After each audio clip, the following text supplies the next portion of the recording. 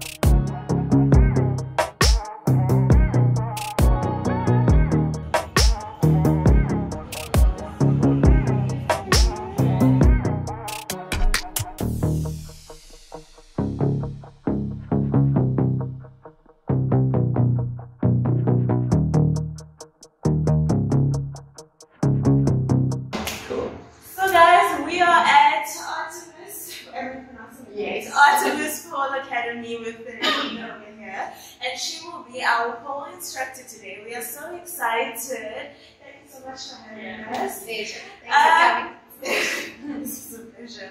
So, um, before we start, we just wanted you to, and us and also our viewers, um, give us a bit of insight about pole uh, dancing. You know, I think a lot of people view pole dancing as a, a sexual thing that has to do with strippers, and a lot of people don't really take that risk of actually coming because they're afraid of the possible judgment Yeah. that come with it. So, if you could just share your views regarding pole dancing. Okay, cool. Um, I love talking about this. um, so yeah, obviously pole dancing can be sexual, and um, obviously strippers use it, and I don't think there's anything wrong with being a stripper and stuff. Um, but it doesn't have to be sexual. Um, when I started with pole, I really did it because I love the strength. I love being strong, so I did it from the strength perspective, um, and I did it from like a body confidence perspective. You know, so um, and um, because I was big up being in the fitness industry so long, um, I did it more from a fitness perspective when I started, and then I was started uh, being exposed to, to the more sensual side. So what I love about pole fitness is it literally, first of all, it doesn't matter your age, your size, your your fitness level. It doesn't matter. Um, you can do pole fitness, and then it also doesn't matter whether you want to do it for sensuality for fitness, full strength, you can do it because you get different kinds of pole, um, pole dancing. Um, even when we have competitions, there are different competitions. We have competitions where it's um, a lot more sensual, it's more, more exotic dancing. You know, they either dance without shoes or with the pleasers, the big boots, I should have it here so you can see. Um, or you have the more sporty pole where um, there's no, no exotic dancing. It's literally just show your strength and your abilities on the move. And then you get the pole art, which is very much where you dance, you tell a story, you're very like dressed up in your outfits, you know, and so on. So it's such a wide variety that it really doesn't matter what you like in life and your personality. Um, you can do pole dancing. So I just feel that if you get world um, championships with something, you get national championships. Um, that stigma is long, or should be long gone. Unfortunately, it's still there. But I think if you really educate yourself on it and see how long pole has been around and how many amazing athletes there are um, in it, and it really is athletes, you know, because of the training and. So, I'm, I'm excited. I'm not gonna lie. I'm very excited to show you. I'm also scared. Always scared. That's actually a very common thing. A lot of girls come here, they're very nervous, and I find it's different reasons. It's obviously because it's unknown, but it's also like I think they're gonna have to pull out like some crazy moves like they see on Instagram or on YouTube. And I'm always like, please just watch beginner stuff. Stop watching these crazy stuff, you know, because I think people have the, the view or the they're under the impression that you get here, and I'm going to ask you to go upside down immediately. You know, it's going to be a while. You know? I obviously have some people they they have gymnastic background and they progress really quickly because it's the same thing. You just off the floor, you know. Um, but yeah, you, you can be chill. Uh, we will be nice to you. So, um, before we start, maybe can you let us know what exactly we'll be doing today? What to expect from this section? So we always do a good warm up because obviously if you're not warm, you're going to hurt some muscles. And then uh, we will start with just um, getting you used to the pole, showing you which is um, you know some of the techniques, and then I'll show you how to climb a pole, and we'll do some basic things on the pole. The first lesson I always is very much like just getting you used to the pole, making you familiar with the pole, and like the movement around the pole and so on. And we're going to work on a static pole today because um, the pole can spin. Um, them on static though. I think they're all on static. Um, and um, but you can loosen it and it actually spins. But I prefer to train people in the beginning on static because it teaches you the, it helps you with build the strength and you just can control the moves a lot better in the beginning. Yeah. Perfect. Thank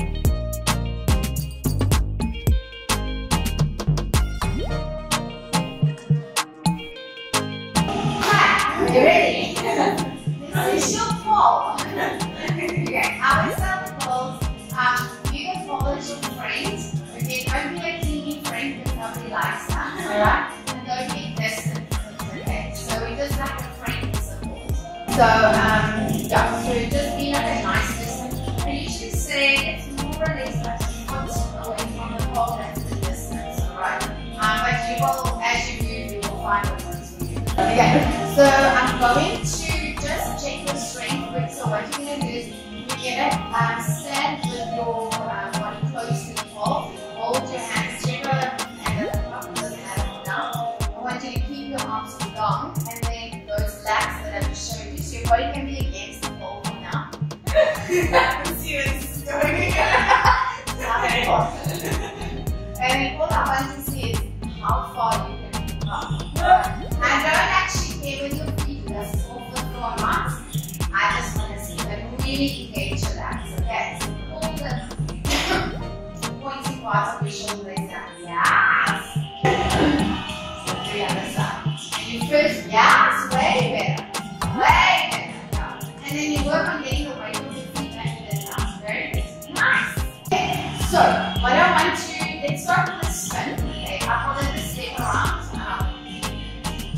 you know when you were younger, I know if you did ever, maybe I'm giving my age but you know when that there's a washing pole and you're going around the washing pole, okay? The same kind of movement except we're dealing with like hips now, we're not dealing with our body, okay?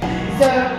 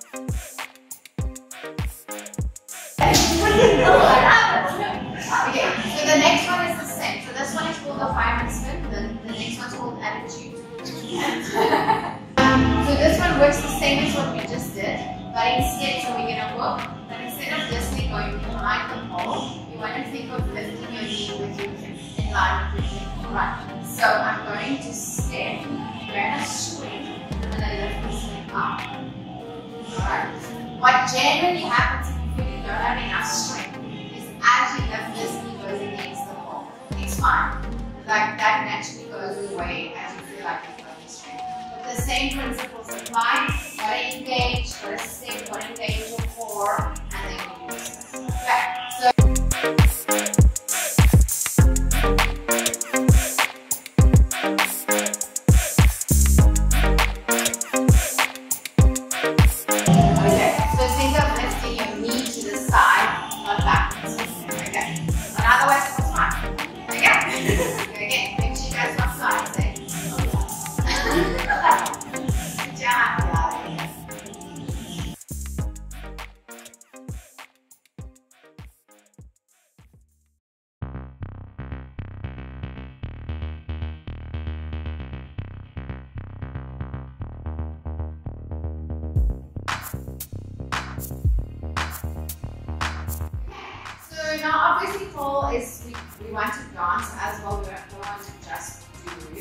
So, and the way you get the flow going is by combining things. So you will go from, for example, we did fireman and attitude. So we are going to go from attitude to fireman. Okay, so we can combine. So we'll leave open, and then all we're going to do is close it behind. Okay, so we're going to go attitude, and then close behind. Okay.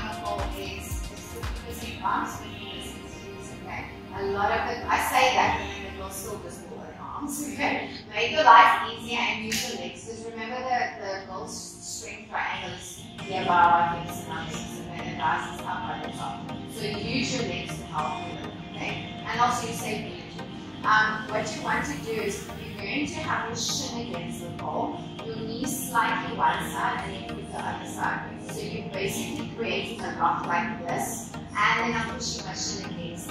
Okay. I want you to imagine you've got a step underneath your foot. Okay. Lengthwise up, one down. Okay. In any of my hands can be at the top, it doesn't matter which one. I want to start pulling with my hands the minute I sit on the chair and then right. Okay, that's all I want. Okay, you can see I'm going right wall. Okay.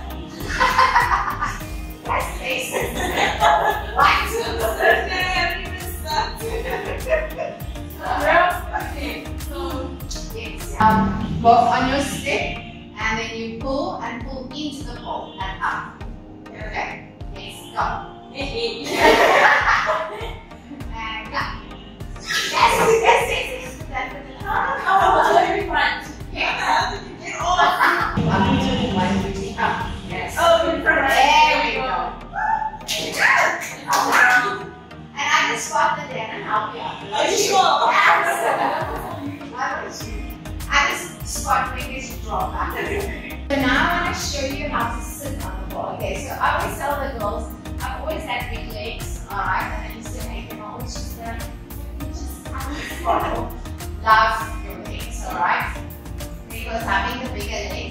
think.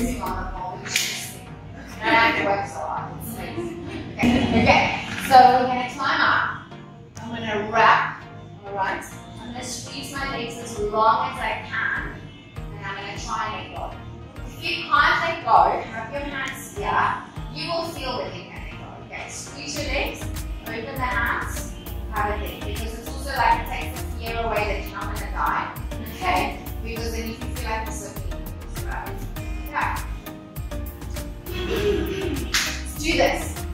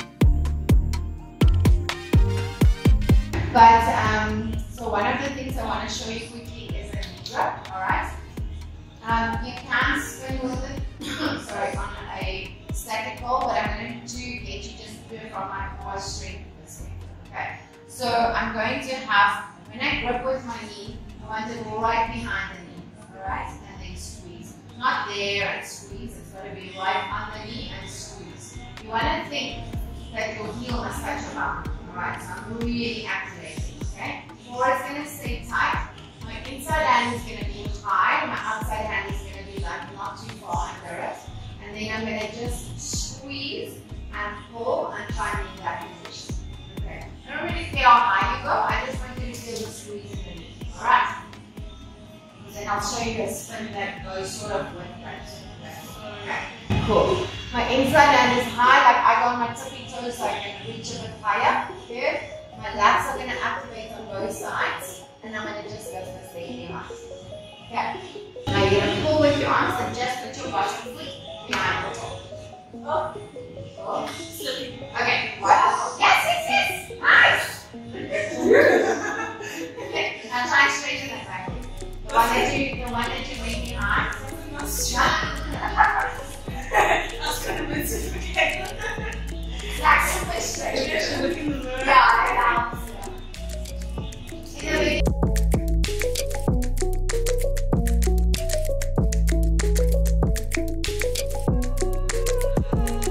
Make sure that everything is where it's supposed to be. Right behind the knee. eh? Yes. And point your toes. Good. Pull.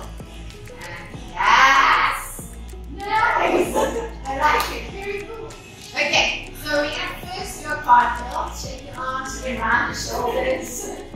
See the different things. Okay, very basic cartwheel. I love this move because very powerful or very pretty or very like flowy. Um, and it's a very nice move as a transition move into other. Right? So you get, I want to get from this side to that side of the pole. I can use this move, or I want to use this move to get into another move. So I think it's very good. Okay, so we're gonna stand next to the pole, just in front of the pole in that. I'm going to have my armpits against the pole, but I'm not gonna squeeze Alright. I just have it like sort of placing against the pole. And this hand's gonna be here, my outside hand is gonna be at the top. Okay. Make sure that this hand, the inside hand is not too high. So you don't want the both there. It's like a gap between the two. Okay. Now a rule in pole is where you look. It's the same as when you do martial arts and stuff. Where you look, your body's gonna follow. Like, like if I'm looking at him, my body is automatically turning. So when you're doing, sorry, when you're doing pole, look where you're going because it's easier to your body that side. Okay. So if I'm here, I'm gonna obviously travel that way, so I'm gonna look that way. Okay. So I wanna think there's an electric fence here. And I want to put my leg over the electric fence, my inside leg first, then my outside hip will follow over. So nothing is allowed to touch the leg. Okay.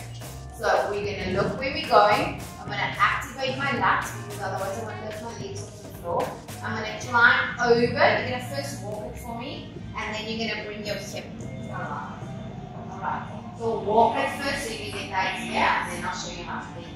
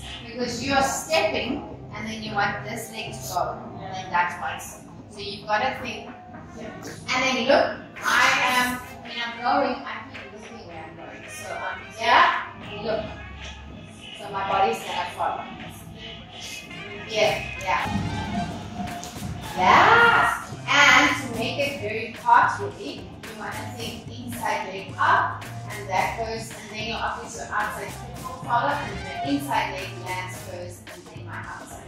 Okay, so it's inside leg lifts, outside hip follows, inside leg lands, outside leg lands. Okay, that's what gets you that flowy kind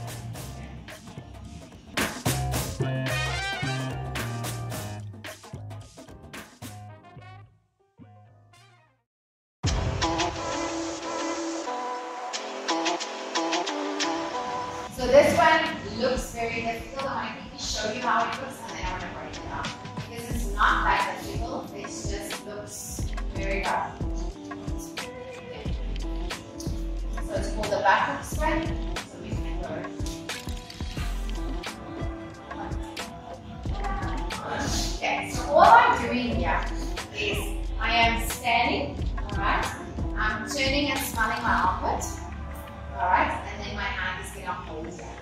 So the same kind of a hold that you just did for part So I'm standing like this. Then I'm gonna smell my armpit. Good, and then I'll hold it forward. Yeah. So you're basically in the same position as you were for your uh, quad Yeah?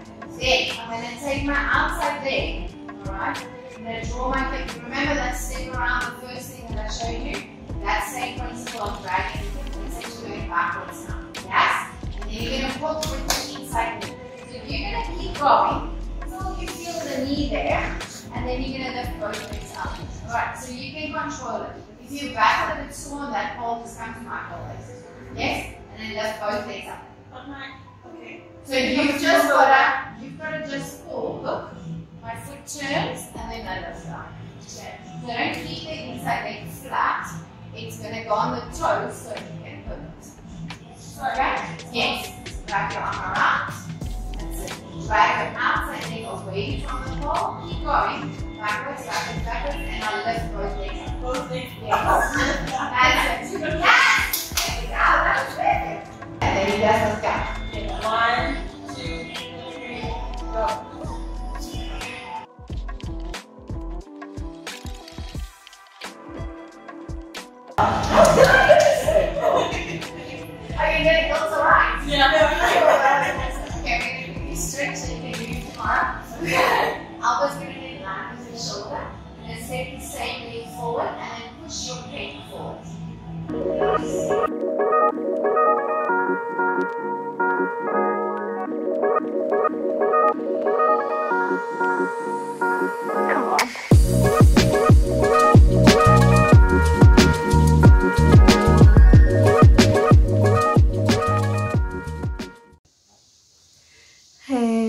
back at home.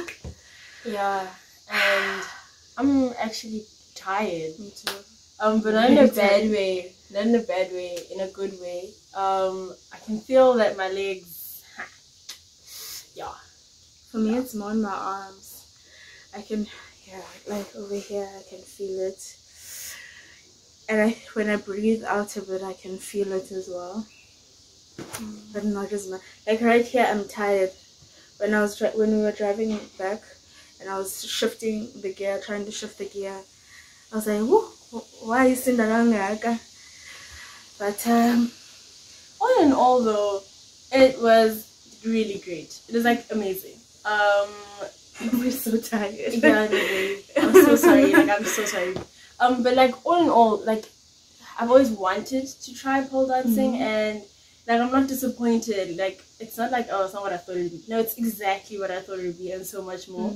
And like even though like she started us out on like beginner stuff, and like it wasn't boring beginner beginner stuff. It was so like cool and like I didn't even think we were gonna make it off the ground today, honestly. yeah. But the first thing we did, she was like up. Um, yeah, it was very cool. It was really fun, and I like kind of just wanna Definitely worth going. back. go. Yeah, I wanna go again and like get it right and like learn a new move, and then the moves that I learned now and get them perfect to make them look pretty. Um, but yeah, no, like definitely recommend going. Like, go pole dancing. It's it. worth the shot. It's surpri- It's um we we previously did rock climbing, and how do I you you can compare the two in that you you are moving your body in ways that you're not used to, right? And your goal while you're on the pole isn't necessarily to work out so it doesn't feel like you're doing a workout until you're done afterwards. So that's also very nice. And once you actually do the things and you figure out the technique you realize that um, it's it motivates you to keep trying right? You think that it's mostly you know about how strong you are but I do think it's a lot more about your technique. Like if you don't put your foot the right way, no matter how strong you are, You're you're gonna gonna, struggle to get your your body up. I realized that you know you know that one that one Yeah, to move when I had to like The one where we put our legs in front, or the one where it was a leg there and then a leg at the back. the leg at the back. Okay. Um, I realized with that one, or the one where you do the step, where you step up, where she was teaching us the Oh, step. okay, up. yeah. Um, I I was trying to pull, like I, I was trying to pull myself up, and then I couldn't. But then the moment you you I put my leg the right way, and I was actually listening to her, and that it's like a, a mental step. You literally have to step up, and you obviously when you step, you're using your leg more than anything. Once I actually started doing it the way she was actually saying, then I realized, oh, okay, the arms are really just helping you bring yourself in. Obviously, you do need a bit of strength to you, but I mean, I did it. So can you. I've got zero upper body strength. Zero. All my strength is in my legs for me. So I was pleasantly surprised that today went as well as it did. Well done, girl. You too, girl. Thanks, girl. Okay, Thanks, guys. guys. Um, thank you for watching. Uh, we really hope you guys all enjoyed. Um, we will be leaving all the details for the Artemis um, Pole Academy. Pole Academy in the description, so you can check them out. Go try it out if you're in PE, obviously. I mean, if you're in There Joburg or are other studios in other parts Parts- of yeah, but obviously we ours was Artemis Pole Academy. So like, if you're in PE and you want to try please do it. and they have they have different packages if you want to go for a day and try that out you can go for a day if you want to go commit to only three months you can commit to only three months so you're not you're not bound to a, a contract that you cannot um, commit to you pick what suits you and what suits your schedule best which i think is really great. It's flexible for you and your time. Also you actually don't need anything. I think um, a lot of people feel like you probably need gear you need to have certain specific clothes you need to you don't need anything. I mean, so you can just go the better, actually the less clothes the better. So if you're comfortable going then you can. I'm kidding. I'm kidding. Um, but you you don't need anything to start the sport, which I think is great. You don't have to hire out any extra equipment, which I think is also very nice. And obviously, you I think this video showed that no matter your size, it's you're gonna struggle with what you struggle with. You're gonna get it right with what you get right. Mm. And I really, I, honestly, I didn't care what you were doing. I don't, I don't mean that in a bad way. But I also just- didn't care about you. I don't, I don't know what you did most of the time. I'll have to watch this back and I also don't know figure it out, which is cool. But I just heard, oh, well done. And then I look back. And it was like, for who? okay. Otherwise, yeah, Thanks, guys. guys. Leave a like, leave a, um, comment. comment. Let us know what you guys want us to do so we can try and organize that for you. Um, and If you haven't subscribed, then Yes. please subscribe. I'm so tired. I'm forgetting all the things I'm supposed yeah. to say at the end. Yeah, and just like go tell your friends, man. Otherwise, you can follow us on IG as well. We never say this, but like you can follow us on IG if you don't. Um, and we'll see you guys next time. We hope you enjoyed this episode of Transcendent. Bye, guys.